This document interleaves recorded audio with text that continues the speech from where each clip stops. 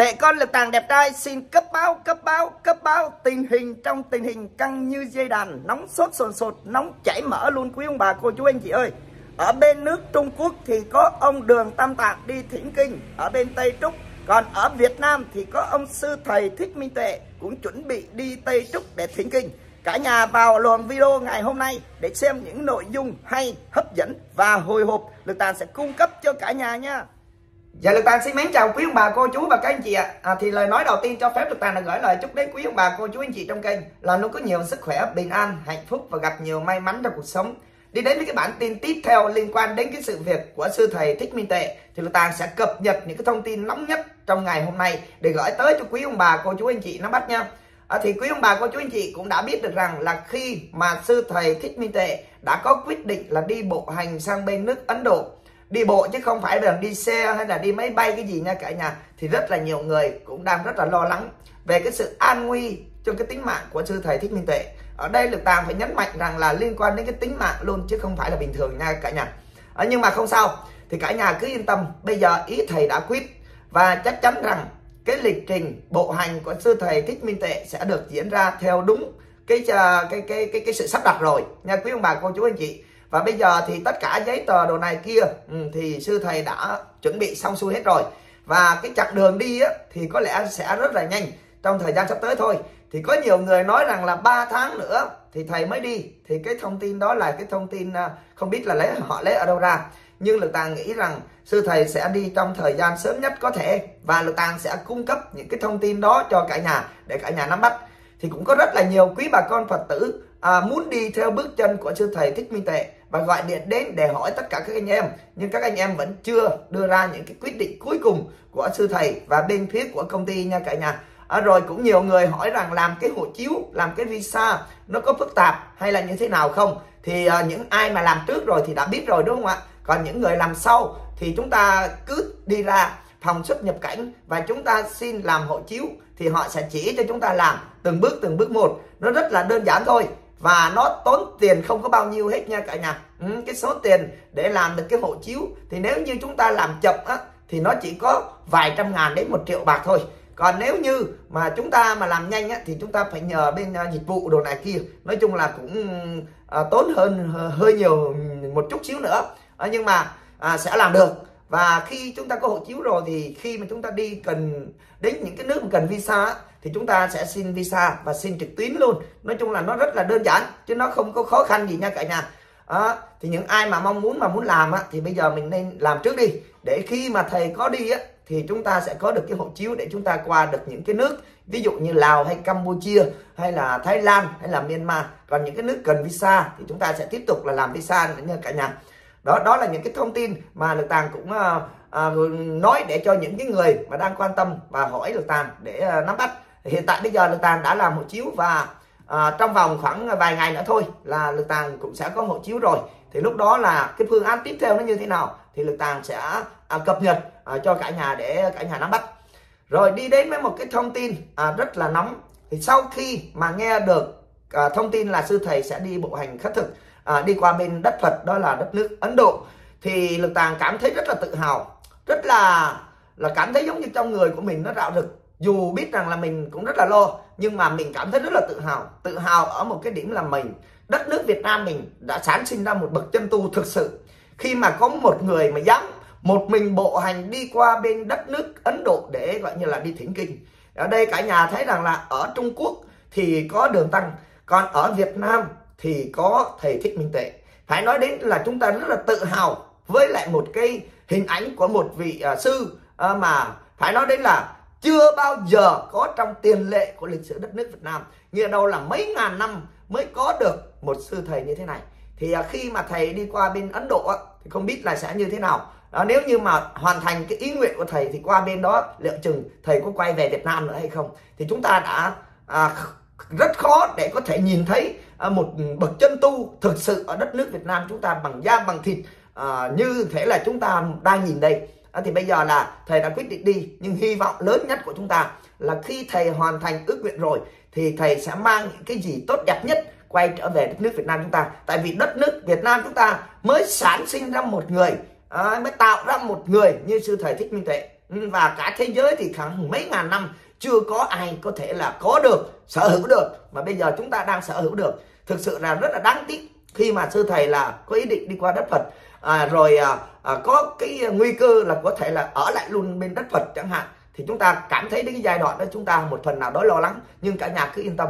Sư thầy à, thích minh tuệ là con của phật và chắc chắn là mọi chuyện nó sẽ được tùy duyên. Và người ta nghĩ rằng quê hương xứ sở thì vẫn là một cái gì đó là trong lòng của sư thầy. Nha quý ông bà cô chú anh chị à, thì một cái thông tin nữa mà là ta cảm thấy tự hào đó là sư thầy muốn mang lại hòa bình cho tất cả các nước. Và đặc biệt là những cái nước mà đang có chiến tranh thì cả nhà cũng đã nghe được giọng của thầy nói rồi. Một lời nói của thầy mà vang dội ờ, làm tất cả đều cảm thấy là thán phục bởi một cái tinh thần à, yêu yêu thương con người giữa con người con người với nhau như vậy đó cả nhà. Dù cho đất nước đó bây giờ nó đang nguy nan như thế nào nó đang à, có thể rằng là sẽ chiến tranh à, bom đạn dữ dội như thế nào có thể là tước đi tính mạng của thầy như thế nào thì thầy cũng mong muốn là sẽ đặt chân vào đó để hy vọng có thể là mang lại hòa bình. Và nếu như bản thân mình mà có hy sinh đi thì thầy cũng sẽ chấp nhận luôn. Thì cả nhà thấy rằng ở đâu có một người như thầy. Chỉ có là bên một vị Phật một vị Phật sống thực sự thì thầy mới suy nghĩ được như vậy. Và ở đây thầy nói là thầy làm chứ không phải là thầy nói để rồi mà được nổi tiếng hay là mang lại những cái gì là lợi ích cá nhân. Mà ở đây thầy đã nói trên cộng đồng mạng nói cho tất cả mọi người. Về suy nghĩ của thầy như vậy là thầy nói ra nha cả nhà. À, thì đó là những cái mà chúng ta cảm thấy rất là tự hào. Và cái tự hào tiếp theo nữa là những cái thông tin mà sư thầy thích minh tuệ đưa ra là toàn thế giới đều phải lắng nghe đều phải xem xét và tìm hiểu ừ, đều phải nhận định đều phải đưa ra những cái bài phân tích. Và đặc biệt hơn nữa đó là những cái tờ báo chính thống ở đất nước Việt Nam chúng ta. À, trong đó có những tờ báo phải nói đến rất là nổi tiếng. À, và những cái tin tức nóng liên quan đến tình hình xã hội an ninh chính trị đồ này kia là đều được những cái tờ báo này đăng. Và đã đăng là chính xác tuyệt đối 100% thì cả nhà thấy là chưa có một cái sự việc nào mà báo lại đăng nhiều đến mức độ như thế này.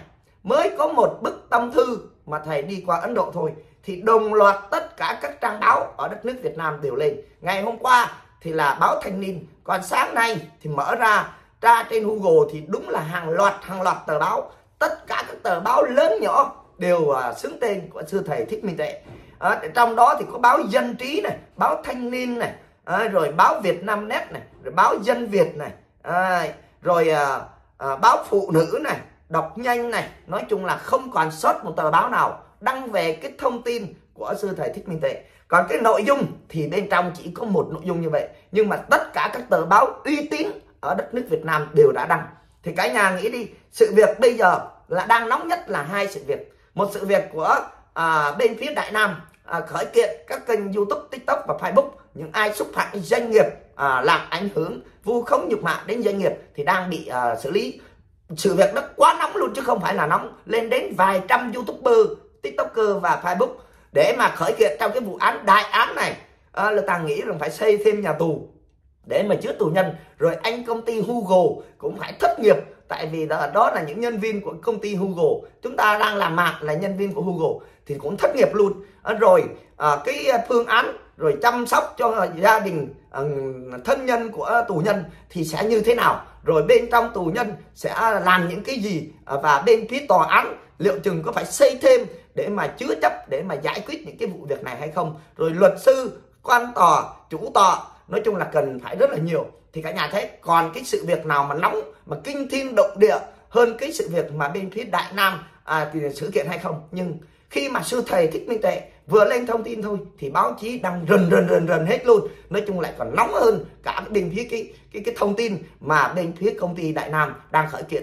Thì cả nhà thấy rằng bên phía công ty đại nam khởi kiện nhưng chưa có một cái tờ báo nào đăng về cái thông tin này cả. Chưa có một cái thông tin về trên một cái trang báo dù cho đó là nhỏ à, để mà đăng về cái sự việc là bà Nguyễn Phương Hằng khởi kiện tất cả các youtuber, tiktoker và facebooker. Đúng không ạ? Cả nhà tìm thấy một trang báo nào không? À, chưa chưa có. Thì có lẽ rằng là cái sự việc của bà Nguyễn Phương Hằng rồi ông Huỳnh Y Dũng và bên phía công ty Đại Nam rồi bên cái sự drama của mà bên à, phía CEO á thì có lẽ rằng là nó đã không còn những cái sức hút à, lớn nữa. Và cái cái vấn đề liên quan đến cái này cái nọ cho nên là bên báo chí họ không có đăng nữa đó cả nhà. Thì lực tàng cũng thấy rất là lạ lùng. Đúng lý ra là họ phải đăng những cái thông tin nóng đó để cho cộng đồng và xã hội nắm bắt nhưng không biết vì lý do gì thì ở đây cả nhà tự nhận định chứ lực tàng là không có nhận định. Tại lực tàng thấy rằng là không thấy đăng thì lực tàng nói là không thấy đăng. Lực tàng cứ nghĩ rằng là báo chí sẽ rần rần rần rần lên để rồi đưa những cái thông tin như thế này. Nhưng mà ngược lại thì lại không thấy cái gì. À, còn bên phía sư thầy thì vừa mới đăng thôi. Chỉ cần đăng một thông tin gì thôi thầy chỉ cần phát ngôn ra cái gì thôi là tự đọc báo chí sẽ đăng lên rất là rầm rộ luôn và rất là ghê gớm luôn chia sẻ rất là mãnh liệt luôn cả nhà. Đó, thì cả nhà thấy là trong sự việc lần này thì lực tài nhận định là cái sức cuốn hút của bên phía sư thầy thích minh tuệ nó đang rất là nhiều và nó nhiều hơn rất là nhiều lần so với lại cái câu chuyện mà bên phía công ty cổ phần đại nam khởi khởi kiện các uh, youtube facebook và tiktok nha cả nhà. À, rồi thì một cái thông tin nữa mà lực tàng muốn uh, cập nhật cho cả nhà thì trong cái trang báo của báo thanh niên à, họ có nói về một vị lãnh đạo ở bên phía tỉnh gia lai đã lên tiếng như thế nào về cái hành trình mà sư thầy thích minh tuệ đi khất thực. Thì cả nhà biết rồi khi mà à, những lãnh đạo của gia lai hay là những à, người ở trong đất nước việt nam chúng ta ai cũng đều nắm bắt được và đặc biệt là các lãnh đạo à, thì hiện tại bây giờ là lãnh đạo của tỉnh gia lai họ cũng đã nắm bắt được tình hình. Và bên phía báo thanh niên thì họ hỏi một câu rằng à, cái hành trình của sư thầy thích minh tuệ à, đi à, qua bên ấn độ sẽ như thế nào?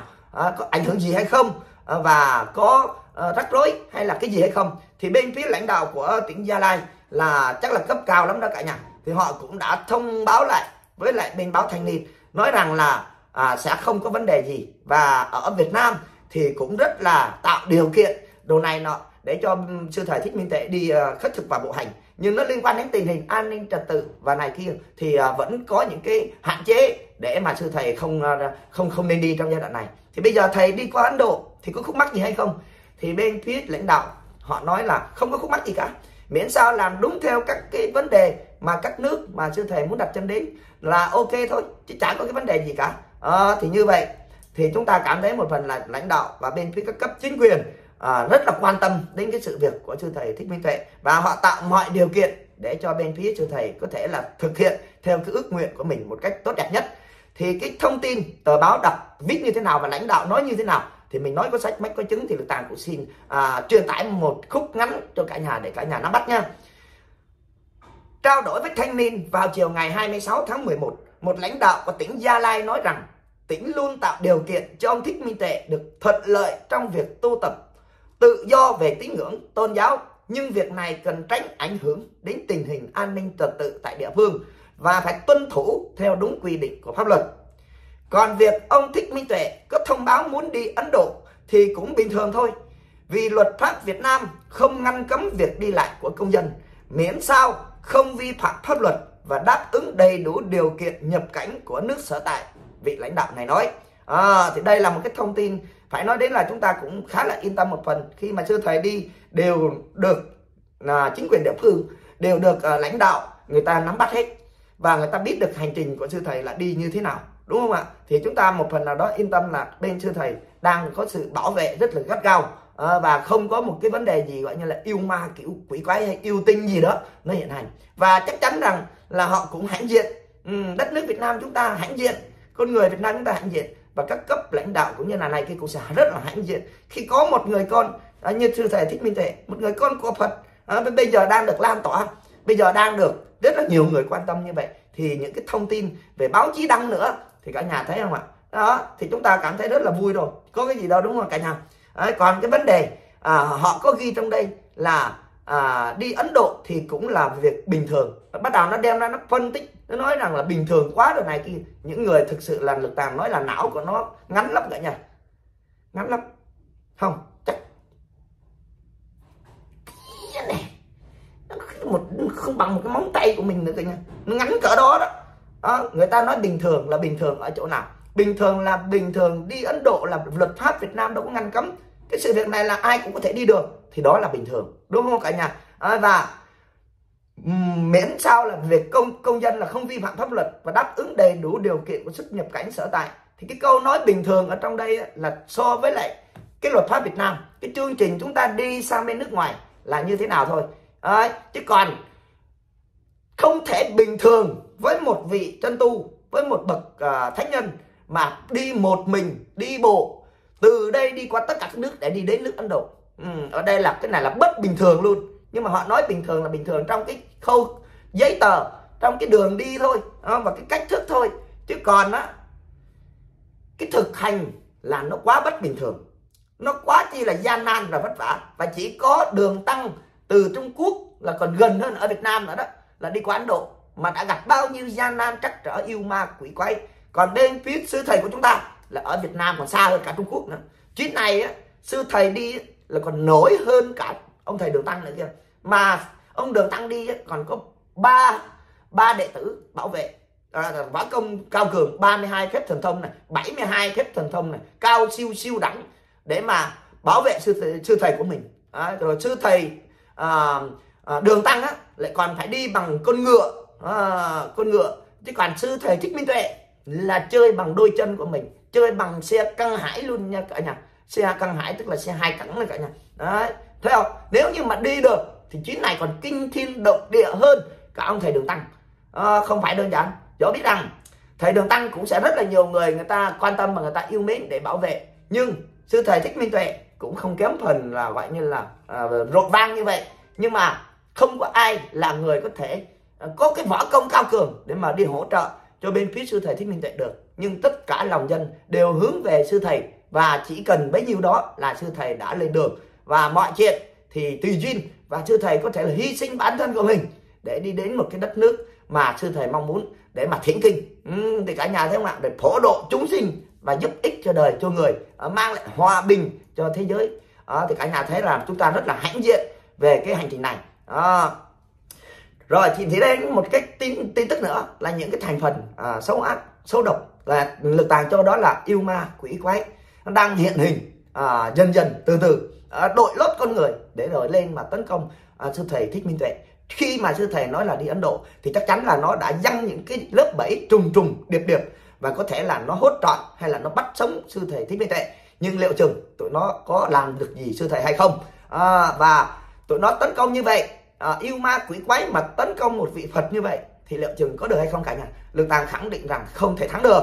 Và câu xưa ông bà nói là ta không thể thắng được tránh à, tránh pháp nha cả nhà. Cho nên là chắc chắn một điều là họ sẽ thua một cách rất là là là thảm bại và sàng lọc luôn. Trong giai đoạn này là những ai à, là yêu ma quỷ quái yêu tinh lộng hành nha cả nhà. Rồi cả nhà cứ chờ đợi. Rồi được tàng cũng hỏi à, những cái người mà khi mà được tàng nói rằng yêu ma quỷ quái và nhận không nhận mình là yêu ma quỷ quái và nhận mình là một người đang góp phần giúp ích và mang tiếng nói cho xã hội thì tôi hỏi mấy người như thế này mấy người cứ mỗi một đêm một ngày mấy người ra rã mấy người đi chửi một bậc chân tu mà ông ấy không nhắc đến tên của mấy người không có nói gì đến mấy người. Mấy người đi soi đi moi đi móc để rồi à, đi chửi một vị chân tu như vậy. Thì qua một đêm ngủ dậy thì mấy người cảm thấy như thế nào? Mấy người trong cái lương tâm nếu như còn một chút lương tâm thì mấy người cảm giác à, mình có tội lỗi lắm hay không? Mình phải có một cái gì đó đúng thực sự với cả nhà là khi mà chúng ta chửi một ai đó hả hê như vậy đó nhưng qua một đêm thì thực sự rằng là khi mà tỉnh giấc dậy thì chắc chắn là cái suy nghĩ đầu tiên là mình phải có cái lương tâm thì mình phải nghĩ rằng à, liệu chừng mình chửi như vậy có đúng hay sai? Và liệu chừng người ta đã làm gì mình mà mình chửi đúng không ạ? Và ông ấy đã có mang lại cái gì hại cho dân chúng hay chưa? Hay là những mang lại những cái điều tốt đẹp thôi? À, và mình đã học được cái gì ở ông ấy chúng ta phải suy nghĩ như vậy. Chắc chắn là những nhóm người này vẫn suy nghĩ nhưng cả nhà biết vì sao không? Vì đồng tiền họ bất chấp cái lương tâm. Họ sẽ mang lại những cái gì? Gọi như là cho bản thân họ thôi. Còn người ta bị mạt sát bị tiêu diệt bị này bị kia thì họ rất là hả hê. À, thì cả nhà thấy đây là một cái nghiệp rất là nặng của họ. Và chắc chắn rằng nghiệp thì sẽ có quả báo nhãn tiền. À, nghiệp thì sẽ đến và quật. Nha cả nhà không thể thoát được đâu cả nhà ừ, thì lực tàng bây giờ chỉ à, hy vọng và khuyên những cái nhóm người này thì trước khi đi ngủ hay là khi mà muốn nói về một cái gì đó thì chúng những người đó hãy niệm nam mô a di đà phật thật nhiều vào để mong rằng à, là những lời nói của mình à, được tha thứ được bỏ qua. À, và hãy tạm ngưng từ từ từ từ lại. Tôi biết bây giờ rất là nhiều người đã rất là ngượng ngùng à, đã đã biết sai biết lỗi của mình nhưng mà đâm lao thì phải theo lao thì tôi nói bây giờ cứ niệm nam mô a di đà phật lại. Và mong trời phật phù hộ độ trì cho mình để mình không trở thành kiếp yêu ma quỷ quái. Chứ bây giờ tôi nói là càng làm thì nghiệp càng nặng. Càng làm thì quả báo nhãn tiền nó càng đến với gia đình nhà mình. Thực sự rằng là quá chi là xót xa ừ, quá chi là đau đớn với những cái hình ảnh như vậy đúng không cả nhà? Mình giữa con người với con người với nhau mình phải có cái sự yêu thương lẫn nhau. Thì ở đây là tàng cũng đang khuyên những cái người đó hãy cố gắng tu tâm dưỡng tính lại để rồi suy nghĩ xem à, là những gì cần nói. Và mình nói ra là có ảnh hưởng đến người ta hay không. Và có đúng hay không thì hãy nói. Chứ bây giờ toàn bộ là lên xuyên tạc vu khống và bịa đặt cho một bậc chân tu. Mà bậc chân tu này đang được cả thế giới nhòm ngó. À, thì có rất là nhiều người nói là chúng tôi u mê. Thì cả nhà cứ suy nghĩ đi. U mê thì thường thường có một vài người u mê thôi. Nhưng ở đây hàng triệu hàng triệu người à, có thể là hàng tỷ người họ cũng đều như vậy cả. Thì không lẽ là họ u mê toàn bộ hay sao? Đúng không cả nhà? Thì trong khi có một nhóm người là đứng lên để chửi sư thầy thôi. À, và à, này kia thôi. Thì họ cho rằng là họ là người tỉnh táo. À, họ cho rằng là họ là người à, của công lý. Họ cho rằng là họ đi đúng đường đúng nước. À, và họ chống lại hàng tỷ hàng tỷ người mà đang u mê. Thì cả nhà thấy là nó có bị nghịch lý ở trong câu chuyện này hay không? Đúng không ạ? À, thì Lưu Tàng cũng rất là cảm ơn tất cả các quý vị khán giả các quý bà con Phật tử trong và ngoài nước đã nhìn nhận được sự việc và biết cách để xử lý như thế nào. À, Lưu Tàng thấy rằng những kênh sóng đó bây giờ chỉ còn một số thành phần là yêu ma quỷ quái đó thôi đếm trên đầu ngón tay thôi cả nhà. À, và bây giờ cũng đã bị tẩy chay rất là nhiều. À, thì cả nhà không thèm xem cả nhà lướt qua cả nhà cảm thấy ồ cái bọn này nó đúng thực sự là nghiệp nặng. Mình không nên coi mình không nên ủng hộ. Thì bây giờ là lướt qua lướt qua lướt qua và tự nhiên rằng là quả báo nghiệp quật cho họ cũng đã đến luôn. Ở cái chỗ view like không có đó cả nhà thì chắc chắn rằng là họ sẽ à, phải à, hủy những cái cái, cái cái cái sự việc mà mình đang nói thôi. Tại vì khi mà họ làm là họ chỉ đặt là tiền lên hàng đầu thôi. Đặt về cái vấn đề lợi nhuận lên hàng đầu thôi. Mà quý ông bà cô chú anh chị không tham gia không xem và không cần phải vô chữ luôn. Tức là không coi là sẽ không có view thì chắc chắn rằng là họ sẽ không bao giờ thực hiện cái chương trình này nữa. Và họ sẽ lập một cái kênh khác. Họ sẽ đứng quay ngược để bảo vệ cho thầy thích minh tuệ và tàng dám khẳng định với quý ông bà cô chú anh chị là họ đi theo chiều hướng tức là gió chiều nào theo chiều nào chiều đó. Đấy, chứ không có một cái ý chí kiên định một cái lập trường mà ở đây họ làm vì mục đích cá nhân. Ừ, thì cả nhà nhớ để ý những cái kênh sóng đó. Ví dụ mai mốt họ có ghi một cái tôi một cái thông tin để mà đi ủng hộ sư thầy hay là làm những cái việc tốt thì cả nhà cũng nên loại trừ nó ra ở trong giai đoạn này thì lực tàng thấy đã sàng lọc rất là nhiều kênh và đã bị tẩy chay rất là mạnh. Thì lực tàng cảm ơn quý ông bà cô chú anh chị. Chỉ có những người như quý ông bà cô chú anh chị những quý vị khán giả những bà con phật tử xa gần thì mới xử lý được những cái nhóm người mà đang đứng lên trên mạng để mà chửi bới này nọ thôi ạ. Đó, đó là cái bài học và thực sự rằng đây nó đang diễn ra. Thì lực tàng cảm thấy là rất là nhiều kênh đã bị tụt view tụt like và lên khóc quá trời. Không có cái miếng ăn nào rồi cả nhà thì người ta nói một câu xưa rồi Ờ, ở ăn ở có đức mặc sức mà ăn đó cho nên là bây giờ mấy người không làm đúng theo cái câu đó thì chắc chắn rằng sẽ hậu quả mới đầu thôi nó đã nặng nề như vậy rồi. Mai mốt nó còn rất là nhiều cái vấn đề nặng nề phía sau nữa đúng không ạ? Đó là những cái thông tin ngày hôm nay lực tàng cung cấp cho cả nhà. Và chắc chắn hành trình của sư thầy đi à, cho dù có khó khăn gian nan cỡ nào thì lực tàng cũng sẽ bên cạnh sư thầy nguyện theo bước chân của sư thầy. Và có sống có chết gì thì cũng phải theo bước chân của sư thầy lực tàng đã nói là lực tàng làm. Lực tàng đã làm giấy tờ và lực tàng sẽ quyết đi theo bước chân của sư thầy. À, biết gian nan khó khăn như thế nào đó à, mình cũng sẽ gặp trắc trở. Nhưng mọi chuyện đều là do cái sự kiên định do sự ý chí của mình. Mình cố gắng mình thực hiện thì mình sẽ đi đến một cái mục đích thành công. Và mình đang đi làm việc thiện làm việc tốt thì sẽ không có vấn đề gì xảy ra. Sẽ có trời Phật gia hộ phù hộ phía sau. Rất mong cả nhà ủng hộ để cho lực tàng có một cái ý chí mạnh mẽ. Khi mà sư thầy đi thì lực tàng sẽ đi theo bước chân của sư thầy thích minh tệ. Cảm ơn cả nhà rất là nhiều đã theo dõi cái bản tin ngày hôm nay. Trong ngày có thông tin gì mới lực tàng sẽ tiếp tục cập nhật để gửi tới cho cả nhà. À, lời cuối lực tàng xin gửi lời chúc lời chào đến quý ông bà cô chú anh chị là luôn có nhiều sức khỏe bình an hạnh phúc và gặp nhiều may mắn trong cuộc sống ạ. Rồi xin chào và hẹn gặp lại.